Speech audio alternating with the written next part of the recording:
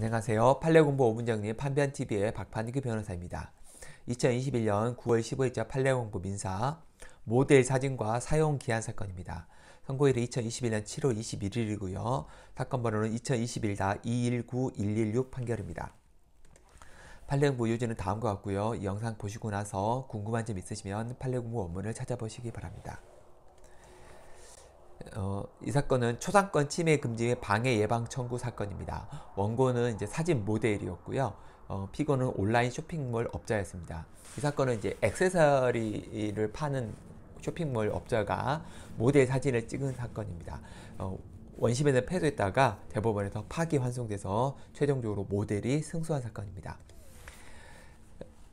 2016년 6월에 이제 원고가 모델이었는데 귀걸이 모델 계약을 체결합니다. 그러면서 2016년 7월부터 17년 6월까지 9차례에 걸쳐서 장신구 사진, 상반지 사진을 촬영을 했습니다. 그래서 어, 모델료는 405만 원이었고 1000장 정도의 사진을 찍었습니다. 근데 이때 이 계약할 때 사진의 사용 기한은 따로 정하지는 않았습니다. 그래서 원고 그러다가 원고가 2017년 6월에 소속사 전속 계약을 체결합니다. 이제 이 모델이 그동안에는 프리랜서로 일하다가 결국 소속을 찾게 된 거죠. 그러면서 소속사 어, 전속 계약을 하고 나서 한 1년 정도 뒤인 2018년 11월에 전, 그 촬영 계약 해지를 통보를 하게 됩니다. 그러, 그래서 이제 더 이상 내 사진을 쓰지 말라. 그러니까 당연히 이 사람은 이제 인지도가 올라가니까 이런 장친구 사진을 이제 쓰지 못하도록 하게 하려고 한 거죠. 원심은 어떻게 판단했냐면 기간의 제한이 따로 없었기 때문에 어, 약정이 없이 이 쇼핑몰 업자가 계속 사용할 수 있다. 이렇게 이제 해서 원고 패소를 했었습니다. 이제 문제가 생긴 거죠. 이런 모델 계약 시 기간에 약정이 없으면 기간 제한 없이 사용할 수 있는가? 이제 이런 사례가 굉장히 많을 겁니다. 어, 그냥 보통 이제 이런 작은 쇼핑몰에 같은 경우에는 모델 계약을 하는데 특별한 계약서 없이 찍는 경우도 많이 있고 그 기한 제한을 떠, 따로 두지도 않는 경우도 많이 있습니다. 그리고 이제 사, 그 파는 그 모델 측 입장에서도 어, 뭐 특별히 그거에 대해서 별로 신경을 쓰지 않고 소속사 없이 활동하기 때문에 그러니까 이제 이런 약, 약점이 굉장히 많아서 이 판례는 다시 한번 확인할 필요가 있습니다. 이 초상권, 그러니까 얼굴에 관한 권리, 이 권리는 대법원은 헌법 제10조에 의해서 행복축구에 의해서 보호되는 그런 헌법상 권리다. 따라서 상식과 통념을 초과하는 범위 사용 시 이 경우에는 특별한 사정이 있어야만 가능하다. 이런 논리를 펴니다. 그러니까 초상권은 그 얼굴에 관한 권리고 행복 추구권의 일환이기 때문에 상식과 통념을 초과하는 범위, 그러니까 영구적으로 사용할 수 있다. 이건 상식과 통념을 포함하는 거죠. 그, 통, 그 초과하는 거죠. 그래서 그런 건 안 된다.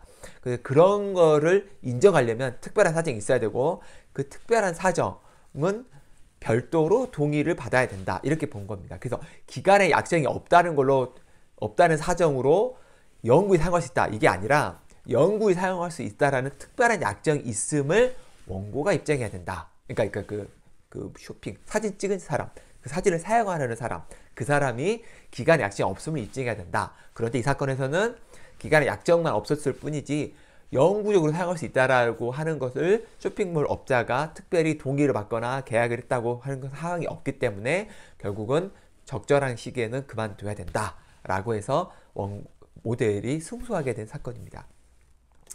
이 사건은 무한정 사용을 고지를 한 적이 없기 때문에 그 약정도 안 줬고 고지한 적이 없기 때문에 수 없게 된 거죠.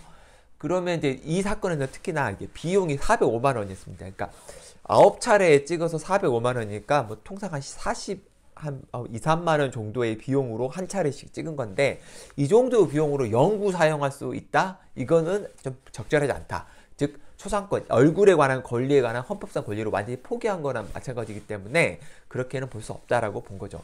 그래서 이, 이, 사건은 유사한 사례가 굉장히 많이 있을 걸로 생각이 듭니다. 그러니까 실제로 내가 돈을 받고 모델 촬영을 했지만 영구히 사용한 것까지는 어, 좀 동의하기 어려운 경우가 꽤 있기 때문에 이 부분은 중요하고 또 하나 이제 사용자, 모델 촬영자 입장에서는 영구히 사용하게 하려면 이 부분에서 반드시 어, 상대방의 동의를 받아야 된다는 거죠. 받아야 되고, 그 다음에 그거에 맞는 대가를 지급해야 됩니다. 뭐 1, 20만 원, 3, 40만 원 정도를 지급하고 연구 사용한다는 거는 좀 적절치는 않은 것 같고, 어쨌든 이 판례는 초상권 특히 모델 사용 사진에 관한 판례여서 어, 중요하다고 생각해서 한번 골라봤습니다. 이상 마치겠습니다. 감사합니다.